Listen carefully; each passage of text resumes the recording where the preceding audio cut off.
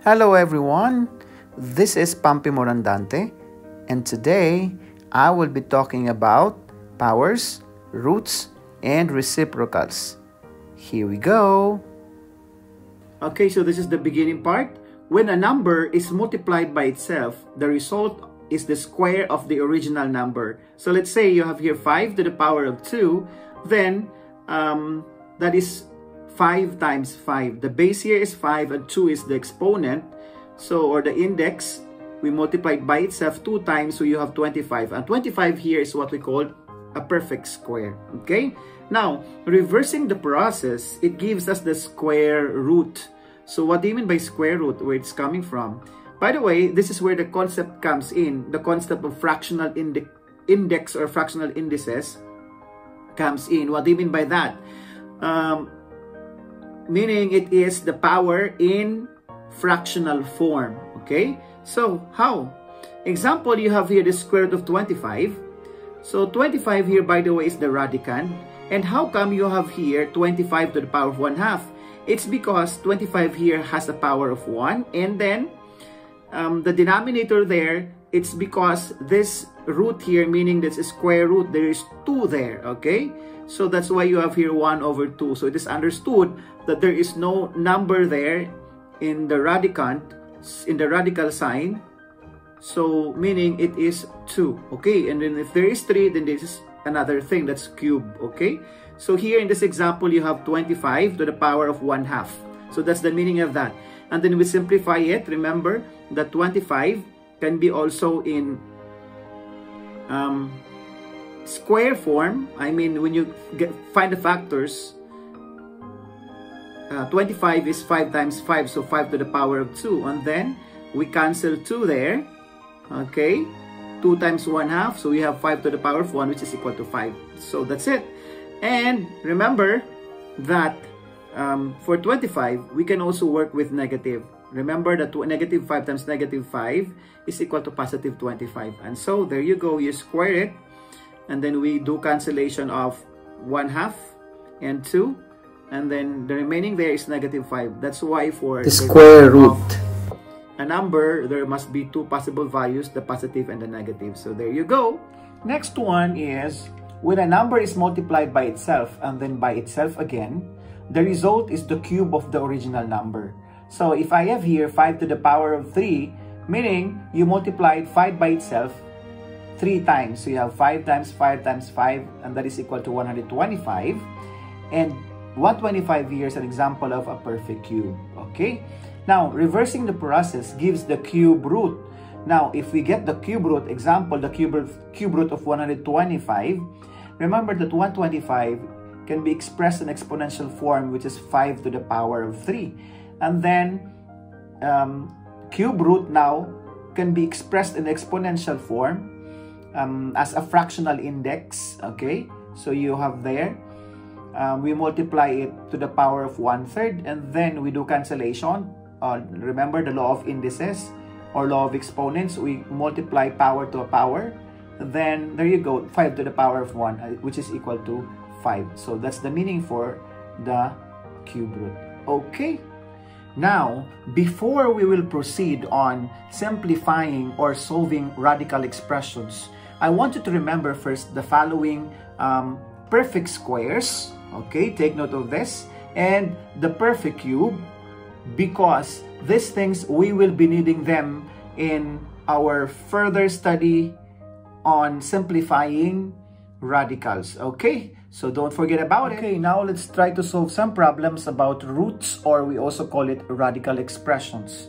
So I have here a problem um, Show the process in solving the given expression below, the square root of 120.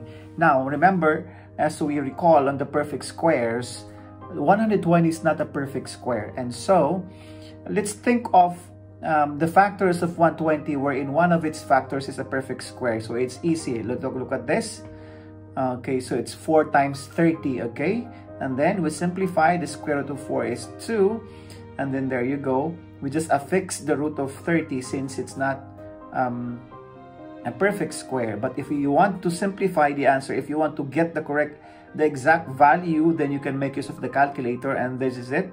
the approximated value of uh, square root of 20 or 2 square root of 30 in simplified form and then there you go. That's 10.95 okay? Okay the next example here we have the cube root of 32 again 32 is not a perfect cube. In that case let's try to recall some of the perfect cubes. And there you go. 8 is one of the factors of 32 so we have the cube root of 8 times 4 and the cube root of 8 is 2 then affix or just write beside 2 the cube root of 4 and then there you go. You can get the calculate you can get the the value of this in the calculator and it's approximated into decimal places. So we have here 3.17 okay okay next example here is we are going to simplify these expressions with fractional exponent or fractional index. Okay the first one is 125 to the power of 4 over 3. So just simply by, um, um, how do we call this one? By just simply getting the factors of 125, okay? Um, 125 is a perfect cube, so you have there 5 to the power of 3. And then we do cancellation of um, the exponents because we multiply power to a power. And then there you go.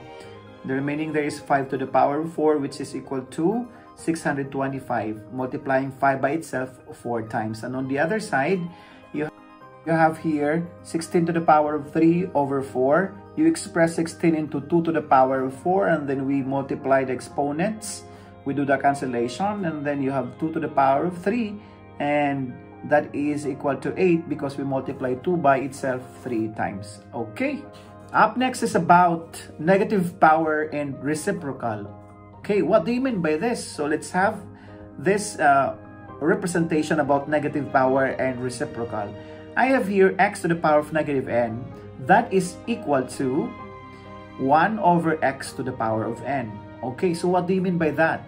Meaning, if you have a negative index or a negative power, you just simply get the reciprocal of the base, okay? And then change the negative exponent to positive. So look at here. We have x, and what's the reciprocal of x? What do you mean by reciprocal? Okay, when we say reciprocal, if I have here, okay, okay, that's reciprocal. Changing of the numerator and the denominator. So here we have x, that is actually x over 1. And so, that becomes 1 over x. So that's the reciprocal. And then, as we do the reciprocal, as we get the reciprocal of the base, we change the sign from negative to positive. So that's it. Okay, so let's have an example. Okay, I have here, work out the values of the given expressions, leaving your answer as, fraction, as exact fractions. I have here 3 over 5 to the power of negative 2. So what we are going to do then, applying the concept, so the base here is 3 over 5, we will just get the reciprocal of the base which is 5 over 3 and then we change the negative exponent to positive. We, we only do that if the exponent is negative. We get the reciprocal of the base. So there you go. And then we simplify 5 to the power of 2 and then 3 to the power of 2. So that's equal to 25 over 9. So that's the final answer. Next one. So another problem here is 27 over 64 to the power of negative 2 over 3. Now the power is negative or the index is negative and so we are going to get the reciprocal of the of the base rather. So 27 over 64 becomes 64 over 27. Since we get the reciprocal already, then the sign changes to positive. The exponent rather changes to positive and then we simplify. We express 64 into 4 to the power of 3 in exponential form. And then 27 into 3 to the power of 3. Then we distribute the exponent 2 third to the exponent inside. So there you go. We do multiplication of exponents and then we do cancellation.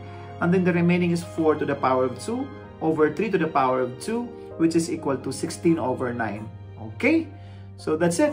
Thank you so much for watching. Bye-bye! See you again for my next topic.